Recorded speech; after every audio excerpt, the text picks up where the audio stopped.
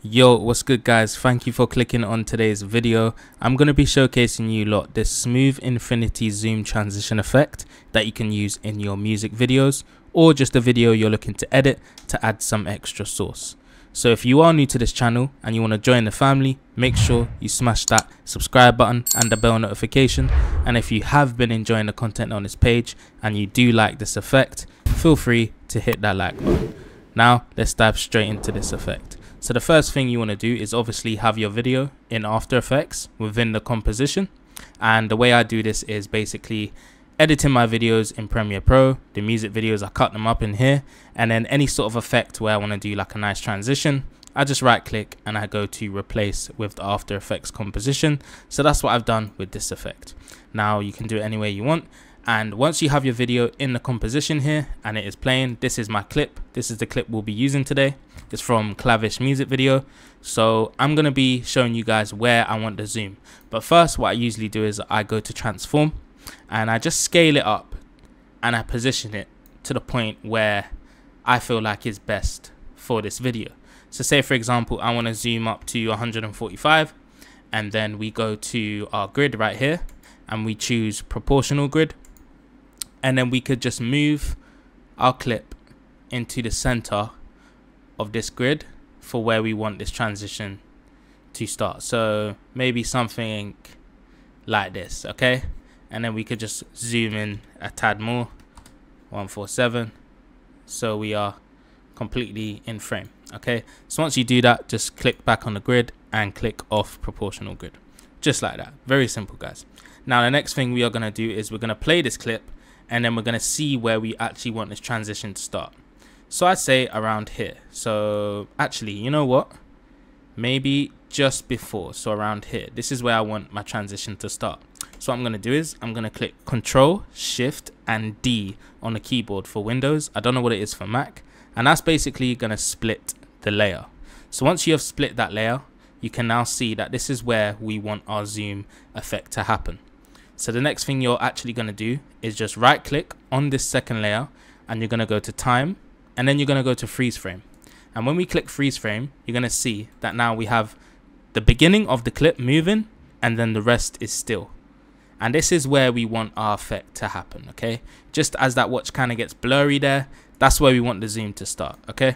Our next step, we just want to slowly mask out our area on where we want the zoom effect to begin. So we're going to click on our first layer here and we're going to go to the pen tool. We're going to click on the pen tool and we're basically just going to mask out this area of the watch. So as you can see, this is our mask. Again, it's not as great, but what we're going to do to clean this up just a little bit, we're firstly going to go to mask one and then we're going to go to inverted and tick that box. So now we basically have a hole in our mask right here in the watch and then we're going to go to mask one here click the arrow and we're going to go to mask feather and we're just going to change this let's just say to around six so now when we look at the mask it's a lot more cleaner and i'm happy with the way that is looking the next thing we're going to do is basically just close this bottom layer here so we don't get confused. And we're going to make sure we are highlighted on this layer which is our freeze frame layer. And we're going to click Control D. And what that is going to do is basically duplicate the layer. So now when we have the second layer here we're going to be changing a few things to make this effect happen. We're just going to right click go to new and then we are going to go to camera and just click OK okay. And that is our layer here for the camera and we're going to go to the start. We are going to open up the camera go to transform and we're just going to highlight all these keyframes just in case we want to use any of the rotation or the movement etc to make this zoom effect work properly. So once we have keyframed everything the next step you want to do is basically go to the 3d icon here in the box for two of these layers and then you want to make sure that the motion blur is on. So we got the motion blur and the 3d icon. The next thing you want to do is basically go to the point on where this frame does freeze and you just want to go to the dolly cursor right here and you just want to slowly zoom and then we're going to slowly position again on where we want this zoom to start. So I'd say something like that. So now when we watch this back it slowly zooms into the watch just like that. Very simple but this is exactly what we kind of want for this effect to get started with all right now, The next thing we're going to do with this effect is we're going to be duplicating our freeze frame layer. So we're just going to make sure we are highlighted on here and we're going to do Control D on our keyboard. And when we open up this third layer here, we're going to go to transform. And as you can see, we've got position and scale. So now what we're going to be doing is we're going to be going to the end here of our position and we're going to change this value to a thousand. All right. And what that's going to do is basically, as you can see, it's just made it smaller and it's duplicated the layer. So now we are creating basically our tunnel to zoom in into this watch to make this transition. So now that we've done the position, what we can do is we can go to scale and just subtract 147 by 10 and make that 137. So then now we've made it smaller, but we've also changed the positioning and made the positioning smaller as well. So that now when we go to our select tool and we move this mask, you can now see that we have a duplicated layer which we can just slowly start to zoom into. Just like that. So that is our positioning for that scale. And you would do the same thing for I'd say around eight layers. So we're just going to duplicate these. And as you can see layer 4 we're going to change this from a thousand to 2000 and then we're going to do the same for the decrease 127 from 137 and then we're going to do this one more time duplicate that layer there. So we're on the eighth layer now and we're going to change this to 6000 and then we're going to put this down to 87 and then now if we was to play this clip and open up our keyframes so that we can see what's going on this is basically what it's looking like okay? Now again this doesn't look good right now but in terms of where we're going to have this effect and how we're going to make it look it's going to be 10 times better okay so now the next thing we are going to do with this effect is basically zoom into this tunnel. All right. So now I say from this keyframe right here, we're going to move to around just for now. We can change this after. We can definitely change it to around 21, 21 frames here. And then we are going to go to where it says select view and we're going to change this to 2 and then we're going to zoom out a little bit just so we can see what we're doing and then we're going to go to default and we're going to change it to top. And then what this is going to do is create a zoom for us to use. So now when we click on our camera you can now see the 3d zoom that we can use. And you're going to make sure that you are on Z letter Z right here. So we're going to start our keyframes right here and we're just going to click on the Z and we're just going to move up with our mouse. So now when you see this zoom happen the transition is coming together.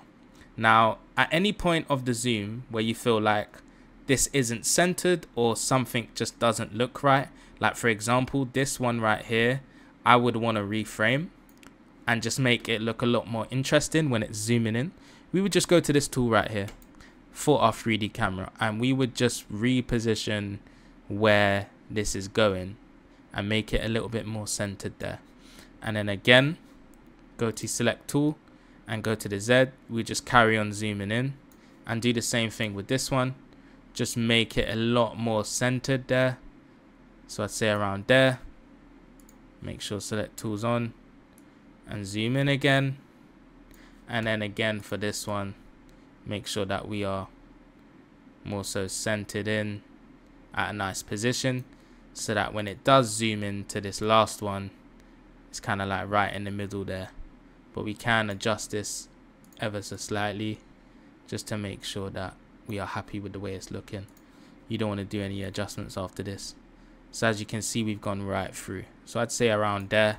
So now when we watch this one you can now see that we've created the tunnel and we've created the duplicated effect for this insane zoom. So now the next thing you want to do is basically highlight your keyframes the ones that you're using anyway and just F9 them all right so now as you can see now that we've F9'd it, is a lot that is a lovely zoom all right? And what you can do is if you don't like the speed if you want it to be a little bit more slower what I can do is is basically just drag these keyframes back towards the end. And if we watch that now if I change the view back to one so as you can see this is what our effect is looking like right now. Now what you can do is is with these positions and these uh, duplicated layers you can go to them. You can go to the position right here and transform.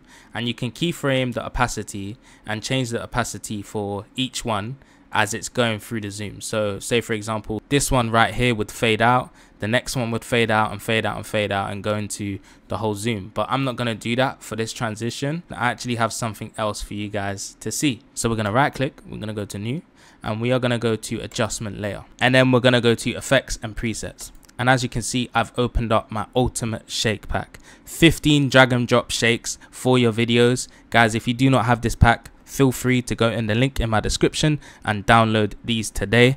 They are so good for your videos and it just changes the way your videos look, especially music videos and shakes where you want to add that intensity and energy to your videos. So we are going to be using the bouncy shake for this effect. I'm just going to drag that onto the adjustment layer and we're going to see how this changes the whole effect and the way it looks completely.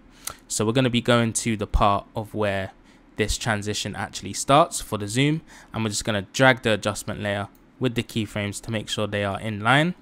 And then we just want to make sure that we have our shake ready for this effect. So we're just going to render this through to see what it looks like now. And then if we want to move it we can. If not we're happy with it. Then we can go with this. But we're just going to render it and as you can see, the shake has basically made this zoom kind of turn and have a nice rotation and a wiggle into the zoom, which is so sick. Obviously, I like to do is with this black space, we're not just going to have it like that. We're going to have a clip underneath it because we want the transition to come to life. This is going to actually zoom into something. So we're going to go to Premiere Pro. We're going to open that up. And as you can see, we have our effect right here. Now, the first thing I'm going to do is as soon as I see the shake coming, which is right here, we're going to add our clip underneath so that when the shake does happen and it does zoom through, we have our clip underneath playing, which is making sense and it just makes this effect come to life because that's exactly what we want and it's what we're looking for, okay? Which is really nice. That is our effect. And what you can do for some extra sauce as well once it's zoomed into our frame here on this last frame of where this zoom is still happening you could go to adjustment layer in Premiere Pro open one up and we can add a nice flash just as the effect finishes. So I'm going to be using my intensity preset pack. If you guys don't have that feel free to get that as well. And we can just do intense flash effect drag that onto our adjustment layer. So then now when it goes through it has a nice flash on top of that zoom I'm so happy with the way that this effect has come out. Look how smooth it is, look how clean it is. And you guys can do this yourself just within a matter of minutes. And for your music videos, it's going to be really effective. So guys, if you like this effect today and this tutorial, smash that like button. And if you are new to the channel, feel free to subscribe, join the family, hit the bell notification so you know when I'm uploading. And if you guys want more tutorials and different effects, feel free to put them in the comments below. Let me know what you think of this effect and I'll see you in the next video. Love.